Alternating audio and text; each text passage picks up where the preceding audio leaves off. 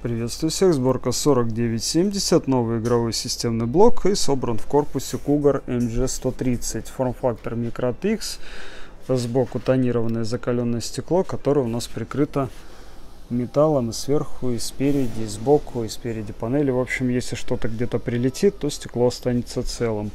Стекло у нас закаленное, довольно-таки толстое.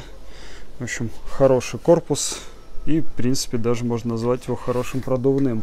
Можно поставить вентилятор на переднюю панель 120 либо 140 миллиметров. Можно поставить вентилятор на верхнюю панель 120 либо 140. В общем, даже самые мощные системники могут собираться в таком корпусе.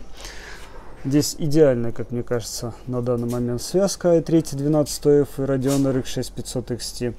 Она идеальна тем, что в принципе для всех современных игр для разрешения Full HD будет этой связки хватать еще много лет. Но если разрешение будет 2К, то эта видеокарта тоже справится, если это игры будут современные. Те игры, у которых будет использовать технологии FSR от AMD Fidelity FX Super Resolution, которая позволяет повышать количество кадров в секунду. Это такой ответ от, AMD на NVIDIA технологии DLSS, которая доступна только в RTX. Ну а здесь эта технология доступна и в стареньких видеокартах серии Polaris RX 4 либо 5 серии, даже встроенная графика современная эту технологию поддерживает. При этом, если для старых видеокарт с применением технологии повышается производительность до двух раз, то у RDNA 2 в два с половиной раза повышается количество кадров в секунду. И компьютер по-настоящему будет игровым.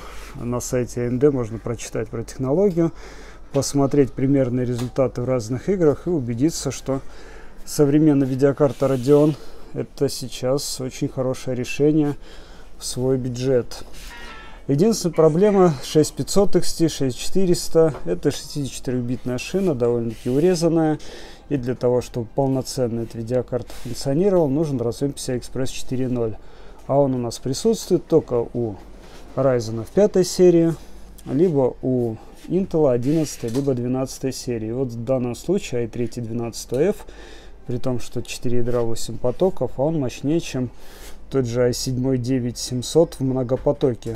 Тот 8-ядерный процессор, который был топовым буквально пару лет назад. Тут сейчас четырехъядерник даже в многопотоке его превосходит. Но если рассуждать о однопотоке, э, там, где именно используется в играх однопоток, то процессор на 30% и мощнее. Вот сейчас у нас шел тест, и мы видели, что у нас кулер-то периодически-то включался. То есть у него режим работы скорее отключен, чем включен. Процессоры холодные, в отличие от 11 серии потребляет примерно 50 ватт. Абсолютно процессор не греется. И даже такой простенькой башни от ID Cooling хватает, чтобы вентилятор у нас и вовсе не включался. При том, что вентилятор 80 мм, башня маленькая, рассчитана под 100 ватт примерно. Теплопакет, трехпиновая колодка, ну, плата MSI традиционно умеют э, регулировать обороты с помощью напряжения. Э, главное задать в биосе эту настройку. Материнская плата имеет 10 фаз питания, подходит и для i5 и для i7, только не кашного процессора. Так что в будущем можно сделать и апгрейд. Ну а вообще 12F, если рассматривать с процессорами в этом ценовом сегменте, превосходит тот же Ryzen 5 3600, Core i5 10400, при этом стоит дешевле. В общем, идеальный процессор – а приставка говорит о том, что у нас встроенной графики нет. Э, память на H610 чипсете, если используется DDR4, работает на частоте 3200. Доступно максимальный объем это 2 по 32 гигабайта, то есть 64 гига.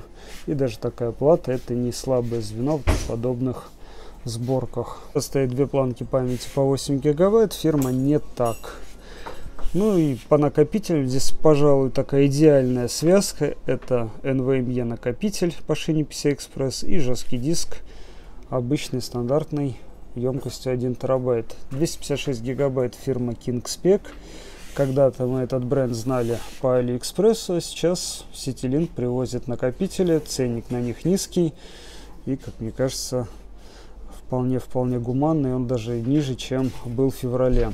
Ну, а жесткий стандартный терабайтный от фирмы Western Digital. Вот получается система это диск C, это SSD накопитель и вся информация на том жестком, на котором эту информацию можно копить. Карта у нас Radeon RX 6500 XT на 4 гигабайта GDDR6 фирма Gigabyte и версия Eagle. Здесь реализован даже фан-стоп, то есть вентиляторы стоят, пока видеочип не наберет примерно 60 градусов. Карточка холодная и для 6500 XT здесь даже, можно сказать, избыточная система охлаждения на тепловых трубках. Ну и до питания в 6 пин также присутствует. Блок питания с запасом на 600 ватт фирма Hipro. И, скажем так, этого блока питания будет хватать и для видеокарты, которая потребляет в два, а пожалуй в три раза больше. Ну и возвращаясь к стоимости, 53 тысячи рублей стоит данный системный блок.